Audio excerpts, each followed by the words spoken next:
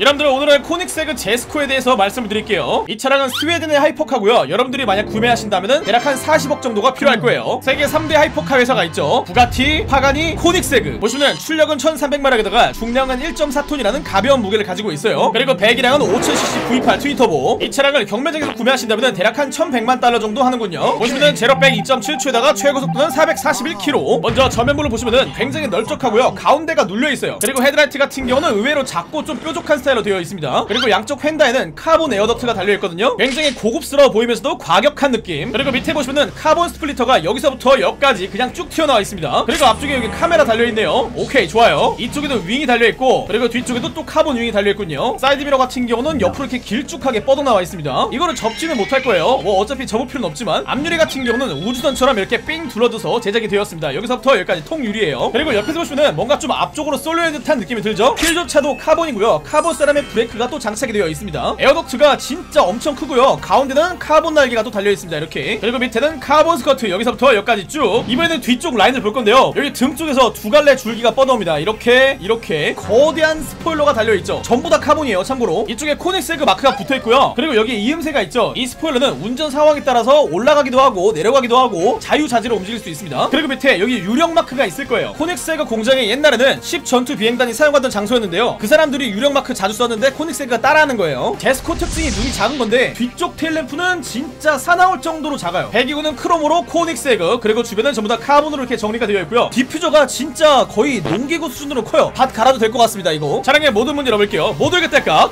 그렇지! wow! 앞쪽 보시면 후드가 여기까지 올라갑니다. 그리고 내부 보시면 카본으로 된 굴뚝이 하나 있을 거예요. 여기 안에는 이렇게 텅 비어있고 이곳을 수납 공간으로 쓸 수는 있겠지만 저는 안 쓸 것 같아요. 네. 이런데 코닉세그 차량 같은 경우는 문짝이 옆으로 돌아갑니다. 이게 이름이 길기 때문에 자막으로 달아드릴게요. 당연히도 문짝은 전부 통 카본이에요. 이번에는 뒤쪽 한번 볼 건데요. engine room이 여기서부터 여기까지 그냥 통째로 열려버려요. 만약에 여기 사람이 들어가서 정비를 하고 있는데 문을 닫아버린다? 그러면은 큰일 나는 거예요. 이 안에는 5.0 V8 twin turbo 엔진이 들어가 있는데요. 놀랍게도 그 무게가 189kg 5 0 1500cc 엔진이 100kg밖에 되지 않는다고? 정말 믿기지가 않은걸? 그리고 눈에 안 보이는 부분도 전부 카본이거든요 여기도 카본 여기도 카본 여기도 카본 내부에 롤케이지가 엄청 많이 들어있네요 여기 여기 여기 여기 여기 먼저 시동부터 키고서 내부 볼게요 스타트!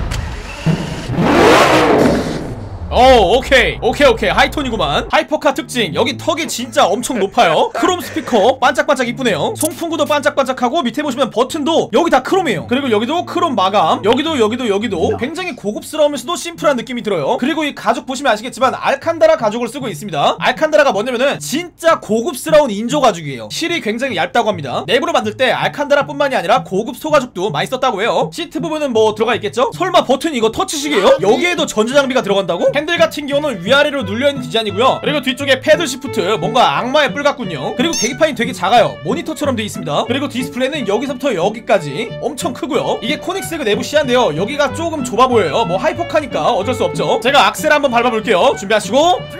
아하! 계기판이 이렇게 움직입니다. 그리고 핸들을 돌리시면요. 얘가 따라가요. 이렇게. 어 이거는 근데 좀 불편하지 않을까요? 준비하시고. 출발 하트! 출발 근데 생각보다 그렇게 많이 미끄러지진 않네요. 코닉세그 레제라 같은 경우는 진짜 엄청나게 미끄러져가지고 운전이 힘들 정도거든요. 하지만 얘는 많이 개선이 됐습니다. 여러분들 멘트 치다 보니까 벌써 390km 400km 돌파. 400km까지 진짜 순식간에 올라가요. 그리고 핸들링도 좋고요 자 300km에서 핸들 돌리면은 웬만한 차는 날아가거든요. 얘는 안 날아가고 그냥 핸들이 돌아갑니다. 300km에서 핸들링 문제 없습니다. 여기서부터 여기까지 안 넘어져요. 여기서부터 여기까지 안 넘어집니다. 반가워요. 여기서 핸들링 볼게요. 이쯤에서 브레이크 살짝 밟고 나와 임마. 여기서 왼쪽 브레이크 살짝 밟고 왼쪽으로 오케이. 잘 들어오는 걸볼 수가 있습니다. 그리고 여기서 다시 한 번 더 오른쪽 오른쪽 출발 하트. 아 근데 차가 뭔가 돌아가네요. 잠시만요. 후륜 탈 때는 TCS를 켜주는 게 좋습니다. 여기서 핸들링 nice shot. 완벽하게 들어와요. 다시 한번 더 핸들링. 속도 별로 안 줄여도 그냥 뭐 적당히 잘 들어오죠 이것이 바로 제스코의 핸들링. 너무나 좋습니다. 여러분들 후륜구동에다가 TCS 키고 다니는 것도 괜찮은데 기왕이면은 4륜구동을 좀 더 추천드려요. 바로 개조하러 가볼게요. 먼저 구동 방식 사륜으로 바꿔줄게요. 다음에 타이어 같은 경우는 건드리지 않겠습니다. 앞 타이어 폭도 건드리지 않을게요. 뒤 타이어 폭 full up 다음에 휠. 휠도 건드리지 않겠습니다. 앞쪽 휠 크기도 건드리지 않을게요. 앞쪽 트랙 폭 full up 그리고 뒤쪽 트랙 폭 풀업 클러치 풀업 트랜스미션 풀업 동력 풀업 자동 풀업 다음에 스프링. 건드리지 않겠습니다. 차체 경량화 full up twin 터보 full up 1300마력에서 1600마력으로 구입 클릭. 지금 보시면은 제로백 1.7초에다가 최고 속도는 416km 잠시만요. 제가 기어비랑 이거저거 살짝 건드렸습니다. 제로백 1.5초에다가 최고 속도는 476km 그리고 디자인 바꿔줄게요. 어, 이게 제가 대충 디자인한 건데 어 저는 만족하면서 잘 타고 있어요. 제가 고속도로에서 한번 달려볼게요. 보시면은 599가 무려 2대? 아 이거 좀 어렵겠네요. 출발 하트! 출발 하트!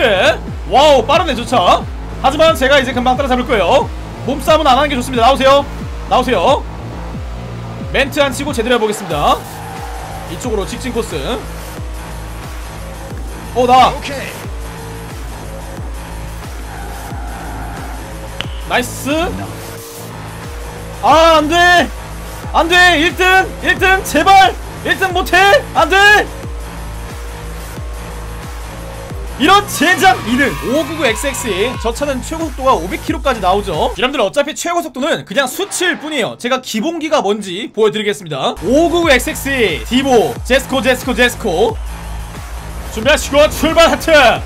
맨 앞이 페라리 그리고 2등이 디보 그리고 3등이 제스코였네요. 자, 여기서 어 맞다.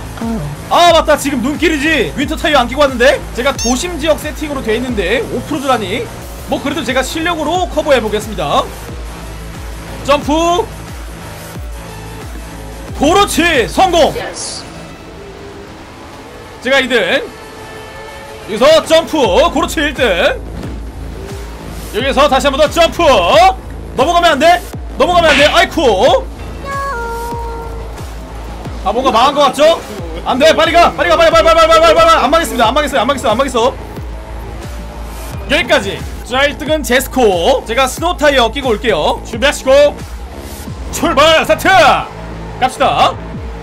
나 임마! 여기서 오른쪽 오케이. 그리고 접지력 유지하면서 직진 코스. 브레이크 많이 밟았다가 왼쪽. 제가 지금 2등으로 가고 있는데 괜히 어 기분 좋아가지고 막 달리면 안 돼요. 살살 가야 돼요 살살. 아 칵 칵 칵 칵 칵. 직진